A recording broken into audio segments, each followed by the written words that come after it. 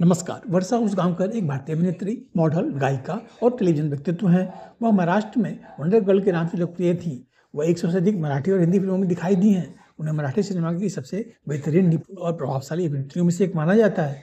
आलोचकों द्वारा उनकी सुंदरता, नृत्य कौशल और स्क्रीन पर उनके द्वारा निभाए गए मज़बूत पात्रों के लिए जाना जाता है। उन्हें तीन महाराष्ट्र राज्य फ़िल्म पुरस्कार मिले। वर्षा उसगांवकर का जन्म 28 फरवरी उन्नीस सौ अड़सठ को उस गाँव, गोवा, भारत में राजनीति के एक के एस उस उसगांवकर और मनिका बाई उस उसगांवकर के घर हुआ था। कोंकणी उनकी मूल भाषा है। उनके पिता ने गोवा में कार्य किया। उसगांवकर को पहली बार उन्नीस में सुपरहिट मराठी स्टेज प्ले ब्रह्मचारी में मुख्य नायिका के रूप में प्रसिद्धि मिली। इसके बाद वह जल्दी ही मराठी फ़िल्म उद्योग में शीर्ष अभिनेत्रियों में से एक बन गई, जिसमें कई फ़िल्में शामिल हैं। फैशल सैफ विवादास्पद हिंदी फीचर फ़िल्म जिज्ञासा में उन्होंने हर्षिता भट्ट की माँ की भूमिका निभाई। उस गांवकर ने टेलीविज़न करियर की शुरुआत उन्नीस अठासी में अभिमन्यु की पत्नी और परीक्षित की माँ उत्तरा, भारत राजवंश टीवी धारावाहिक महाभारत का भविष्य की भूमिका से की थी। इस भूमिका ने उन्हें कई हिंदी फ़िल्म प्रस्तावों के लिए प्रेरित किया और उनमें से अधिकांश बॉक्स ऑफ़िस पर सफलता बनाने में विफल रहे।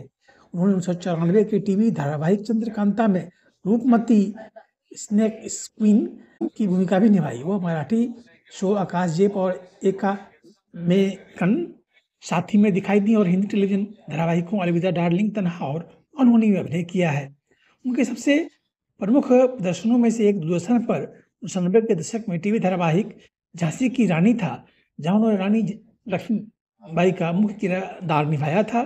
उस गाँव का गायिका भी हैं। उस गांवकर ने बॉलीवुड डेब्यू फ़िल्म दूध का कर्ज नब्बे के साथ किया, जिसमें उन्होंने कजरी का रोल निभाया। उन्नीस सौ इक्यानवे में वर्षा गांवकर ने चंचल का रोल फ़िल्म शिकारी में किया, जो रसियन लैंग्वेज में रिलीज़ की गई। उन्होंने मार्च 2000 में भारतीय फ़िल्म संगीत निर्देशक रविशंकर शर्मा के बेटे अजय शर्मा से शादी की।